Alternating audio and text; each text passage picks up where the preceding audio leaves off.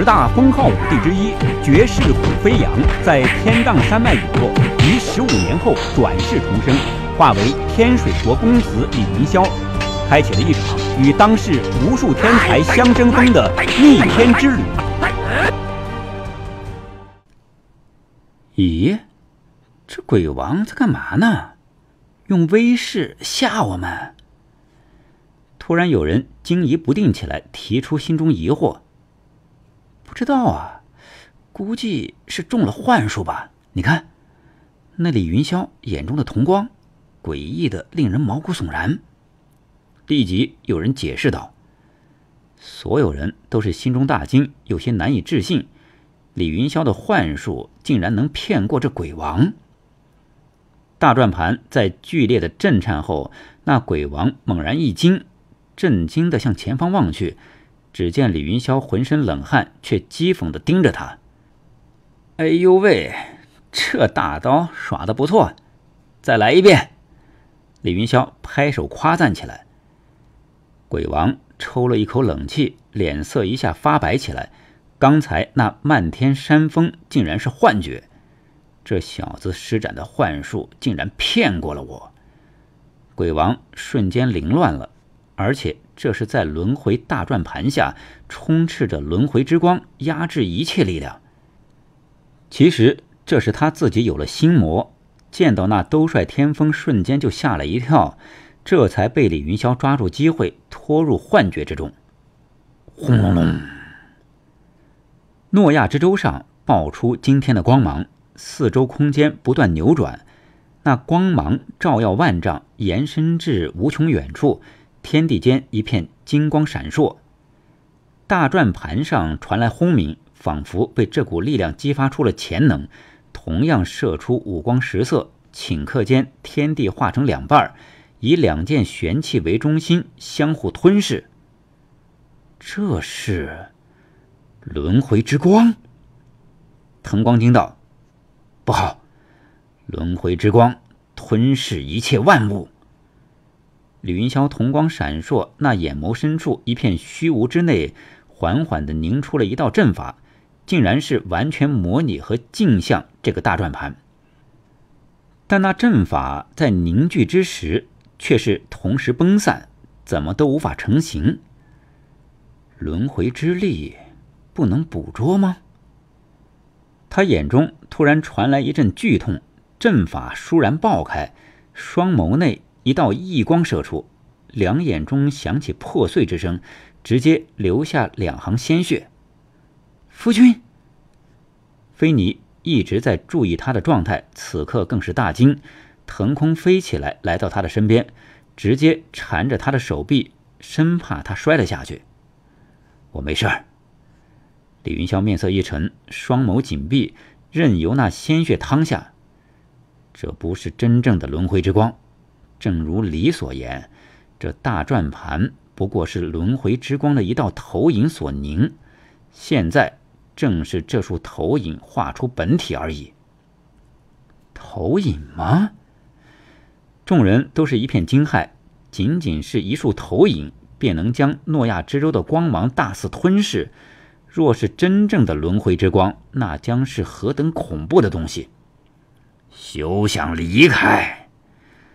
鬼王连连震怒，再次举刀化作一道绿芒，冲入那万丈金光之内，朝着叶凡而去。众人大骇，眼见生机在望，都是大吼着施展绝技，顾不得三十三公曹的围攻了，尽数向鬼王轰去。只不过数十道神通之光泛起，瞬间就被那轮回之力压制下去。在那道轮回之光的投影下，任何力量都无法穿透，只剩龙千秒的那一道真龙之气勉强能突破出去，但是也是太弱，转瞬即灭。啊！这所有人都是傻了眼，眼睁睁的看着那鬼王斩向叶凡。突然，一道光芒急转。李云霄倏然出现在叶凡的面前，画出三头六臂法相金身，全身布满魔纹，大喝一声，倏然出手。兜率天风直接震了出去，四色光芒不惧那轮回，直接轰了过去。鬼王面色一沉，身体一闪，直接化作一缕绿芒消失，避开那山峰。眨眼之间，便在叶凡三尺内画出真身，大吼之下，一掌拍了过去。那掌心中荡出无数刺目的光圈，源源不竭地扩散出去，正是那轮回之力。李云霄脸色大变，那道轮回之光的投影，一时间无法突破诺亚之舟的万道金芒，便借体鬼王从掌心激射出来。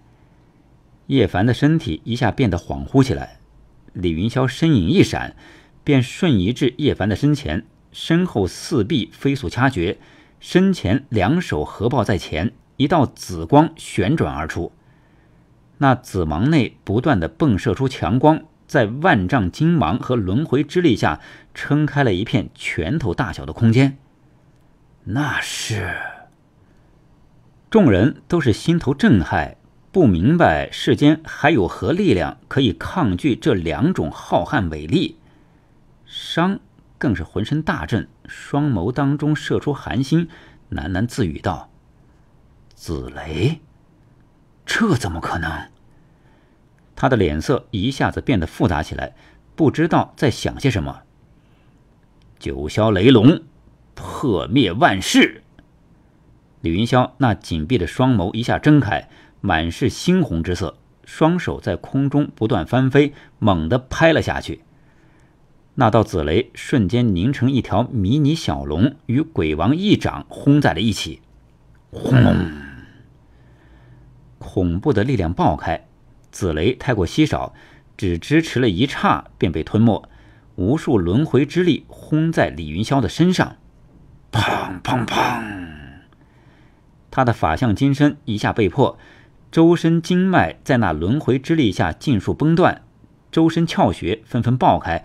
激射出道道血箭，整个人瞬间被击飞了出去，远远的震落在地上，不断的大口吐血。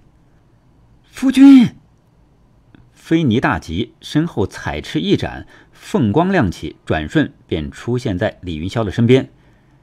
鬼王眸光一沉，只觉得这李云霄太危险了。他看了一眼叶凡，竟是下了决心，朝李云霄补上一掌。